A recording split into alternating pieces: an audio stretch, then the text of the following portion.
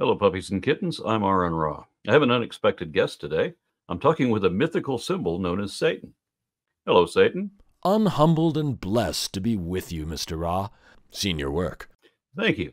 Let's talk about your new film, uh, Satan's Guide to the Bible. In it, you make a surprise visit to a Sunday school. Called to serve. Called to serve? I answered the call. I see that you were the uh, substitute Sunday school teacher. What's today's lesson?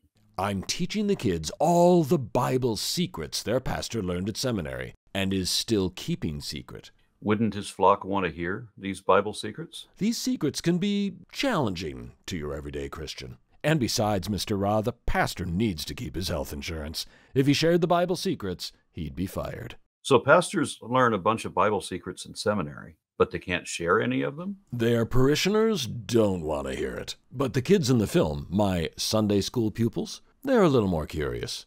Good to see their curiosity hasn't been completely squelched, as we know religious indoctrination does that. Uh, without giving any spoilers away, uh, what are some of the more shocking Bible secrets that you reveal in your film?